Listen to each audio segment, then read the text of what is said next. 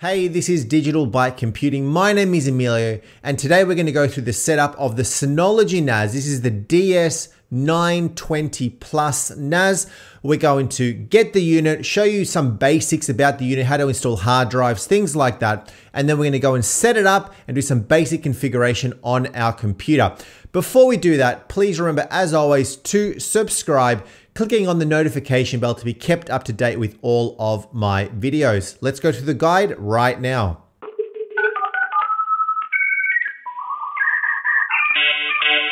So here is our unit. We've unboxed it. We're going to do some basic configuration. You're going to install hard drives. Remembering that this unit does not come with any hard drives by default out of the box.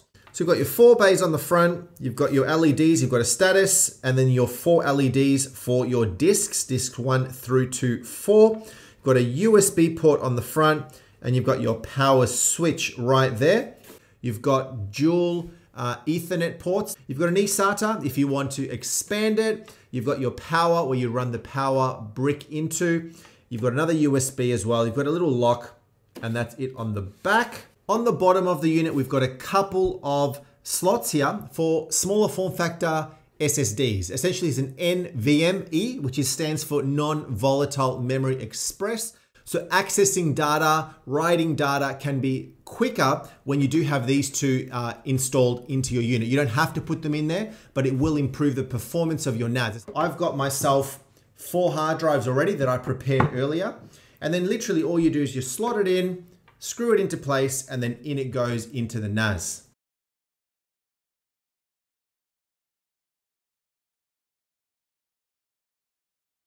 So with the hard drives installed, we now want to go and set it up. Go and put it wherever you want to put your unit. I'm just going to do it here in my home lab environment. In a enterprise, you're going to put it perhaps in a rack or in a server room or something similar. Get yourself your ethernet cable, only one for now. You can run two.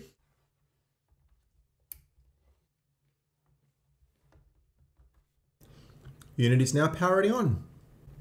So give that a few minutes just to power on, make sure it's all fully up and running and operational. What we're now gonna do is we're now gonna cross over to my computer. I'm gonna be connecting over a web browser from my Mac. You can do this on Mac, Windows, or Linux, it doesn't matter. Open up your web browser. We're gonna cross over now, and then we're gonna log into the console for our new Synology NAS. So here we are connected into our computer and we've opened up a browser. As long as it's a new modern browser up to date, you shouldn't have any problems. Now, the first thing we want to do is obviously we, we've got the NAS now on the network. It's connected into our network switch. And now it needs to be discoverable somehow. So what we're going to do is we're going to throw into here um, this URL, find.synology.com. Okay, http find.synology.com and press enter. This should now scan your network and hopefully find your Synology NAS. Now, there's something you have to consider here is firstly, of course, you have to have your NAS racked. You have to have it cabled into a network switch. Now, whether you're running this at home or in an office environment, making sure that there's no firewall rules in between. And as you can see right here, it has found it, which is great. If it hasn't found it, you'll have to identify uh, what, what network problems there could be present within your environment. In my case, you'll see that it's got an IP address, and that is because I've got DHCP set on my network where I've got a DHCP server that is dishing out IP addresses to my network. Of course, once we now log into the Synology NAS, we are going to give it a static IP because we don't want to let, you know, leave it as a dynamic DHCP IP. So you'll see that it's shown up. You've got model name, the uh, DS920 Plus, the IP address, my MAC address, and the status, which is currently not installed. And what we want to now do is select connect. If you're happy with that end user license agreement, you can say okay. Now it's connecting into that IP address. So if you knew what the IP address was that was being allocated, you can just go straight into here, throw in your IP address and then colon 5000. But in this case, it's automatically found it. And now set up. So the Synology products uh, sit on top of DSM, which is the Disk Station Manager, Synology's operating system essentially, uh, and we need to install that uh, to be able to get it uh, with a nice graphical user interface so we can go in and really play around with it. Um, you can still access the Synology via the command line, but we love the DSM. It looks really cool. You can do a manual install. If you don't want it to go out and pick it up from uh, a different location, you can manually install it as well. But we're going to just select install now. All data on the hard drives one, two, three, four will be removed. Of course, if you've installed less hard drives, uh, it'll only show up the hard drives that you have got. But all my data is going to be erased from these disks, and we are okay with that. So the initialization is now beginning. Um, as it says here, it will be ready in approximately 10 minutes, and ensure that you do not turn off the power to this uh, NAS while this process is taking place. And we'll check back once we are done on the other side.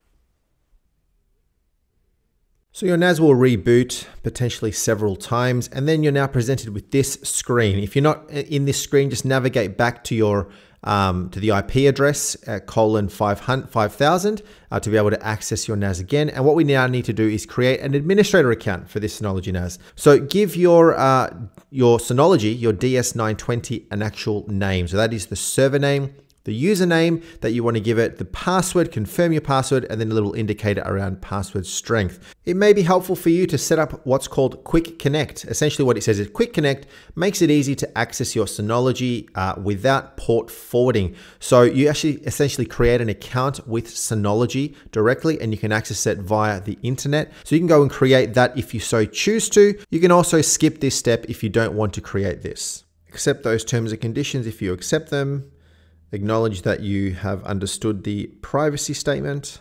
You're all set. Let's take a tour. Got it. Device analytics.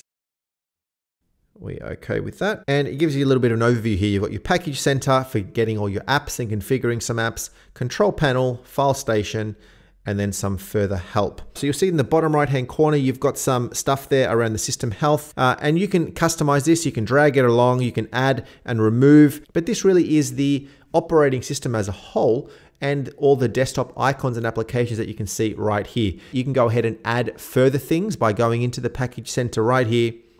And this is really like an app store where you can go and download additional applications to make your Synology NAS even better. Remember, this is not just a NAS for storing files. You can actually do a lot more with it. You've got your little uh, main menu. Think of this as your uh, start menu on Windows or your you know, your dock down the bottom on your Mac. Uh, you've got access to all of your stuff right from here. You've got File Station. Within Control Panel, you've got a few different options. You've got all your shared folders. You can configure your shared folders. You've got File Services, your SMB, FTP, TFTP, rsync, uh, Advanced, uh, you got your users and your groups. So you'll see that it's the user that I created before, as well as my admin uh, my groups if I want to have groups of users within particular groups for allowing different access, domain and LDAP. So if you want to have uh, AD uh, authentication and connectivity. Under network, you've got here your, the name of your Synology NAS.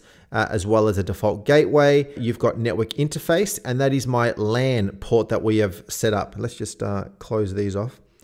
And if I drop down, you'll see that here is all information about my particular uh, network point that I've configured and it's getting that IP address over DHCP, which is yes. So the first thing that I would recommend is give it a static IP. You can go into edit, use manual configuration and assign a static IP to it. Something that is nice to see is the info center. It gives you a nice snapshot of everything that is going on. Includes the serial number, the model name, uh, you know, what the, the, the CPU, the RAM, etc. on your actual device. Under storage, you'll see my four hard drives. So these are one, two, three, four hard drives, which were three terabytes each, and you've got the status there being initialized. Under services is actually quite helpful. Do you want to be able to enable certain services, yes or no? So if you want to be able to have FTP, you can turn FTP on. If you want SFTP for secure, turn it on. For rsync, for syncing between NASs, things like that. Um, do you want to be able to have SMB?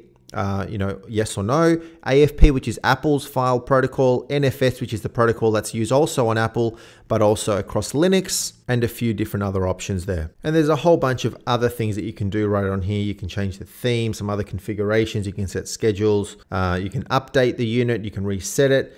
Uh, there is so much stuff that you can still do on this Synology NAS. Now under our little main menu here, so we had control panel, we got file station, you got some other options. What's important is this storage manager. So we want to go and configure our groups of disks, etc., etc. So you see that everything looks healthy, everything looks fine, but there are currently no volumes, there are no storage pools because all we've got is four drives that are currently unused. Under the hard drive SSD option, you see my four drives. You can locate drives, so a little LED, other information around the logs and how the things are going, how they're tracking, whether they're healthy, uh, what the temperature is. So let's go and create a volume first. So there are two options here. You've got Quick, which essentially uses a Synology hybrid RAID uh, if you do want to use that, or you can do custom and you can go and configure your own RAID types. I personally prefer the custom option, so I'm going to go and select the custom option. I'm going to create a new storage pool. So you can do that by creating one here first, but we're going to create a brand new storage pool. How do we want to optimize our particular uh, storage pool. So you got better performance or higher flexibility. The first one really uses traditional RAID. So RAID 1, RAID 5, RAID 10, etc. The second option uh, can utilize Synology's hybrid RAID. Uh, essentially, it's a Synology proprietary technology where uh, you can mix and match uh, drives sizes, for example. So in future, you want to add more drives um, that are different capacity. You can do that without breaking your RAID. There are pros and cons to each of these. Uh, you do slightly get better performance from a traditional RAID in the single volume model. Um, so really up to you which option you want to choose. For the purpose of this demo, I'm going to go with better performance using traditional RAID. The Synology Hybrid is quite good and does give you a great amount of flexibility, especially in future if you want to say expand your NAS when you've run out of capacity. But if you're comfortable with the capacity and you're more than you know, considering future growth, then go with better performance because you will get slightly better performance than with the hybrid RAID option. Give your storage pool a name. It's optional, but I like to give it a name. So I'm just going to say this is my pool 01. What sort of RAID type? We're going to stick with RAID 5, which is really going to give me, uh, I've got four disks. It's going to let me use three of them. And there's going to be a parity bit to allow me to have redundancy. So if one disk fails, uh, I don't lose all of my data. And essentially, I, I, I, forfeit one drive's capacity. Which ones do you want to be part of your RAID 5? Of course, we want all four of them to be part of your RAID 5. Now, remembering that once you've created this, uh, you're not really going to be able to do anything around expanding or adding another disk. So this gives you the flexibility where if one disk fails, you can still remove that disk and add a new disk. It'll then rebuild that RAID and then you don't lose any data as part of that process. So all the data will be erased. Yep. What sort of file system do you want to use? So you've got the BTRFS, letting you do snapshots, replication, uh, quotas. I think this stuff is awesome um, to be able to do the backups, the snapshots, replicate data between devices. The ext4 is used in uh, Linux uh, primarily, as you can see, uh, and early versions of Synology as well can use that. We're going to be using the first option and say next. Do I want to give it a description? Uh, this is the primary storage pool. Total capacity will be 8.17 terabytes. Some basic info, summary. If you're happy with that, we can say apply. Now that configuration is now commencing. So it is now building my volume. It's under my storage pool. You'll see a bit more information. Here are all of my disks. And at the moment, we don't actually have anything uh, sitting on there. All it's done is created the, uh, the volume, the storage pool to be now allowing me to be able to copy data into there. So while it's doing this in the background, let's just go back into our control panel and under file services. Uh, now you need to, of course, decide uh, what sort of protocol uh, is going to be used to be able to connect to your Synology NAS. So you've got SMB, AFP, NFS, which are the most common. SMB will be using the work group and this is how you'll access your NAS. So on Windows, you do backslash backslash from start run, throw in the Aguero Synology NAS, which is the name of my NAS, or the IP address. And on the Mac, you can do SMB that, so you can actually go into the Finder and connect to server. AFP, you can access it over AFP on my Mac as well. And then NFS, if I so choose to use NFS, which we're gonna leave off for now. So if we go back into control panel, and we go into shared folder. So the first thing you need to do is create a shared folder that you can actually navigate to. So what we want to do is we're going to say create, create, and now we want to give it a name. So let's just call it for now test folder, give it a description if you so choose, and the location. Now we've created the volume. which is great. You wouldn't be able to do this unless you had a volume with a storage pool already created. So you'll see that right here, we're going to create a test folder within volume one, which is 7.85 terabytes big. You got some settings in here if you so want to ch change those. Do you want it to be encrypted? We'll leave that blank. We'll leave all of this blank if you can have quotas and things like that. And you can say apply. Now, who do you want to be able to get access to this particular uh, shared folder. Okay, now in my case, uh, I've got my username right here. So I'm going to be able to say read write against Ed Aguero. And now that folder is now created and uh, it's got read write access to Ed Aguero. Okay. The next thing I can then do is go into my file station. So this is essentially my Windows File Explorer, right? And you'll see that right within here, it's my root being Aguero Synology, and then underneath that being test folder, and that is currently empty. So I can now navigate to this folder. It's ready, it's live, but there's nothing in it. So let's just go and create a folder within there, some other folder. Okay, I'm, I'm very original with my names. And there you go. You got that in there. Let's uh, dump some files into here. So you can upload right from here. Uh, you can also just drag and drop. So I'm just going to go. I'm just going to do a drag and drop. Now within my NAS, I've got Aguero NAS, the root being test folder, and then a folder in there called some other folder with a particular file. So now that is ready to be navigated to. So then if we want to navigate to our NAS, you'll see that I've already got it mounted right here. Opening up the connect to server, which you can access from your Finder, go and then connect to server. I can now navigate to my SMB share. So I can connect to admin or I can just uh, connect straight into here, uh, which is the IP address, which we've allocated to the Synology NAS. I can say connect. There is the folder that we've created.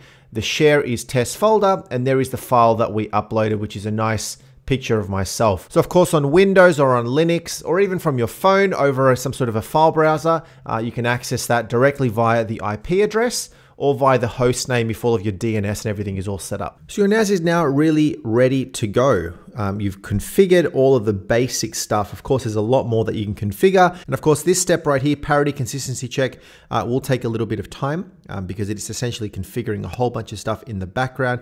So let that do its thing, but you can still operate and use the NAS as you so choose to. So that is the basic overview. Hopefully that was helpful for you. And um, you know, you were able to configure set up your NAS. Let me know in the comments if you were successful, if you were not successful, if you need some further help. If you have any recommendations on videos that I should be recording around the Synology NAS, let me know as well. I would really appreciate it. And as always, remember to like that video as well if you did find it helpful. Even if you didn't, like it anyway because it helps me and helps me hopefully record better videos in future. But as always, remember to subscribe, clicking on that bell right there to be kept up to date with all of my videos that I release pretty regularly on a weekly basis. But that's it for now. Thanks for watching. We'll see you next time.